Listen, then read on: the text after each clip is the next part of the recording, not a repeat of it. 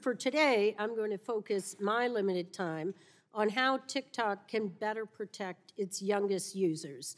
And I think a number of us have identified as parents today and have serious concerns as we relayed to you.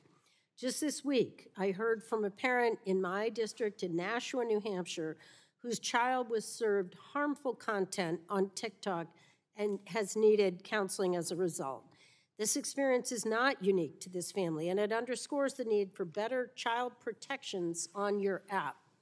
I'd like to dig further into TikTok's current safety and privacy controls for children. I understand that TikTok restricts certain app capabilities for users under age 18 and has additional restrictions for users under age 16 or 13, such as limiting who can interact with them on the platform. However, these protections are worthless if any savvy child can easily bypass these age restrictions by deleting their own account and creating a new one with a different age. And by easily, I mean you can literally go in and open another account using the same uh, email address. So I've been made aware by child safety groups, including Fair Play for Kids and Common Sense, that it is that simple for young users to bypass the age restrictions on TikTok. Yes or no, are you aware of this issue?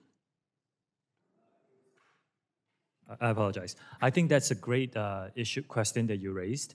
Um, if a user inputs an age and is blocked, my understanding is that if the user tries to do it again within a short period of time, um, and I won't disclose We publicly. did it in our office yesterday. You can go right back in, use the exact same email address, and open a new account. So can I get your commitment that you will at least fix that bug? I, I will go and have a look at it. Yes. Thank you. Um, if, if we're here today to talk TikTok and not other platforms, but I'm happy to look at legislative solutions. In the interim, TikTok has a responsibility to do more to protect its young users, and I will accept your commitment to take a look at fixing that issue. Will you, um,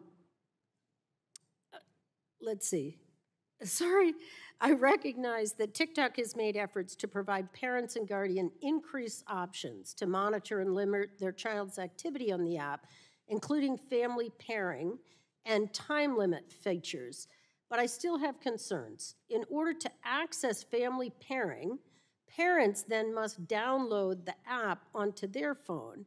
And this sounds like a design to lure more users onto the app rather than a practical safety feature.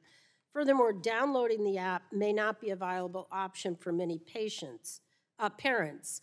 Mr. Chew, will TikTok commit to developing other methods for parents to monitor their child's use of the app without having to download the TikTok app on their phone? I, I can look into that specifically and get back to you. But the Okay. family pairing that you mentioned is, is a very good tool that we develop. I encourage parents with teenagers But to, use it. But it's not a perfect tool, and let me just say, one of my concerns is that um, the minimum time limit TikTok lets parents set for their children is 40 minutes, which for a young child is a very long period of time. Actually, giving parents control would mean providing them the freedom to set the screen time that makes sense for their family. Now, I've got a copy of the uh, app page that shows just the four options. Would you commit to adding an other option so that the parent can easily set their own screen time limit? I can take a look at that. Um, I think it's important. I think parents are looking for control. They're looking to uh, allow their family to use these apps without TikTok taking over um, their child's uh, media use.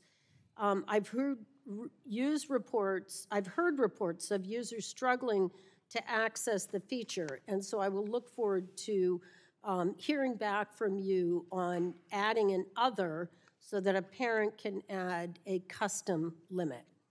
So finally, I ask that you commit to report back to this committee and the American public on how TikTok addresses these safety issues and the steps that you are taking to default children's accounts to the most protective possible settings. And with that, Madam Chair, I yield back.